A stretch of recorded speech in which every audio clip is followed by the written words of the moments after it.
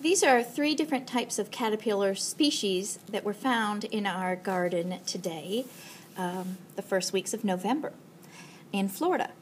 This, uh, the first one is a um, swallowtail, black swallowtail caterpillar, and he, uh, right here, you can see he has, uh, it's a green caterpillar with black stripes and yellow dots.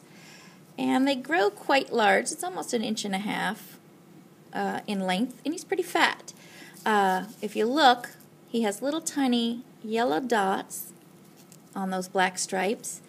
And if I turn him upside down, you'll see how he has these little um, like legs coming out that are gripping, and then some smaller ones here in the front.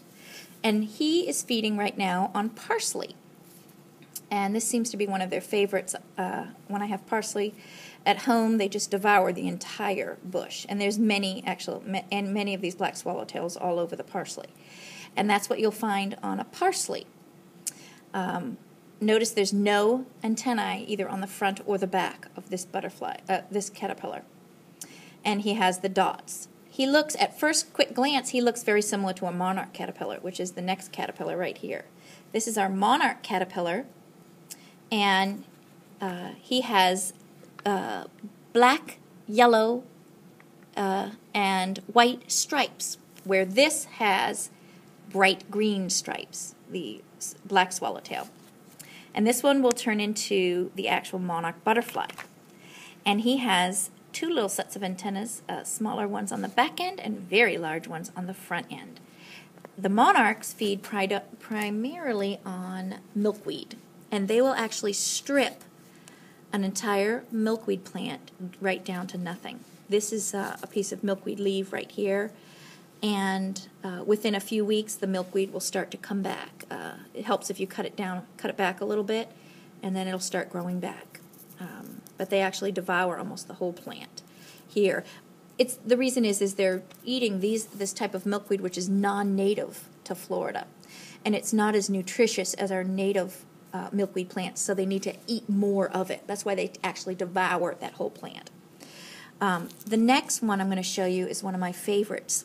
This one is the orange dog caterpillar, and he has this really cool defense mechanism, and you can see He's quite, he's almost two inches long, two, two and a half inches long, and he's much bigger than the swallowtails and thicker. He has, he almost appears to be like a mini snake. He has a really thick, much larger head in shape.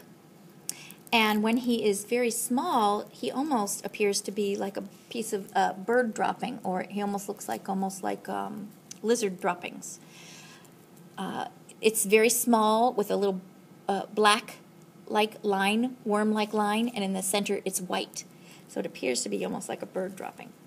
Um, and as it gets larger, uh, it's, it's eating quite a bit of our, our leaves from our grapefruit tree, this orange dog, but he won't hurt the tree. He's just going to eat some of the leaves, and the orange trees have much more uh, much more nutrition in them than the milkweed, the leaves, and so he doesn't eat that many.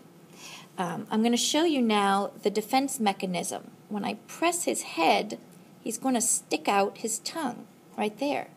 And that's one of his defense mechanisms right there.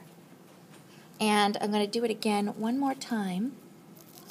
In the defense mechanism, it's always also admitting a kind of a stinky smell. Right there, you can see that tongue coming right out. He's mimicking a snake, trying to scare away your predators, and then the stink is also scaring away, will scare away those predators too.